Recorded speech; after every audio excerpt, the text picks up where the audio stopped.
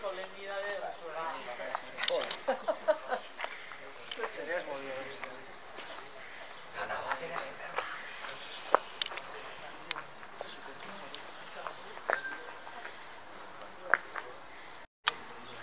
Erabagiaren aroan sartu gara.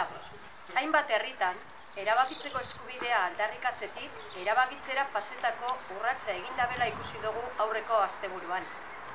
Aldarrikapen fasetik, ariketarako pausua emon dabe herri horrek. Eta erabagi ausartori, herritar askok eta askok babestu dabe. Horren adibide eredugarri espazter dugu.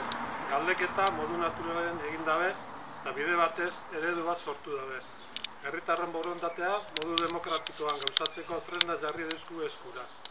Herritarrak ahaldundu dabesan eredua sortu dabe. Prozesua bera gauzatzen dagoelako giltza. Erabagia eregi egin behar da, ezberdinen artean alkarlanean. Izpazterren lortu dabe, eta orain, Lea Artibai eskualdeko gainerako herrioi toketan jaku, lekukoa hartu eta bide horri jarraipena emotea.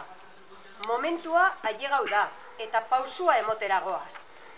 Adierazpen honen bidez, Aulesti, Etxebarri, Markina Semein, Mendexa, Lekeitio eta Ondarruko herritarrei eta Lea Artibaiko, Lea Artibai eskualdeko gainerako herritako eibe, elkarlanerako deia eta erronka lusatu nahi deutzegu.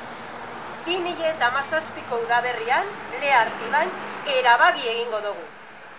Prozesu honek zilegitasuna izan dagian, iritzi kontrajarria daukiesenak eta desberdin pentsetan dabenak hartu behar dabe parte. Aldekoen eta kontrakoen, eseskoen eta baiezkoen parte hartzean dago kakoa. Galdera edozen izan dabe. Jarrera kontua da.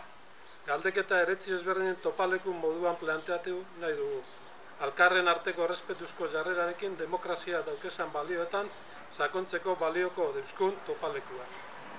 Jakin badakigu, ibilbidea ez dala erreza izango. Gogor egin beharko dugula beharra, baina ziur gagoz, botatako izerdiak, izpazterren gertaudan moduan, mereziko dabela. Norbanako lez, egunero hartzen dugu zerabakiak, zer jan, nun bizi, zer ikasi, zergatik ez modu kolektiboan, herri moduan, momentua ailegau da, eta pausua emoteragoaz. Hemen hasten dugun bideak lau geltoki daukaz.